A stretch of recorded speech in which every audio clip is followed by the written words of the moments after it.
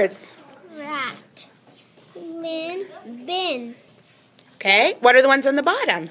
Uh, the bottom. This one. I did read Oh, that. sorry, I missed it. Can you reread them for me? Pat, pat, rat. What about the word zat? Okay. What would I do?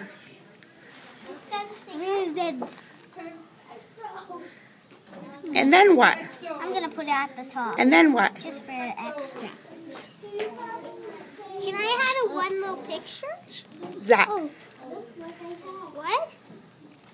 No. Uh, where's the T?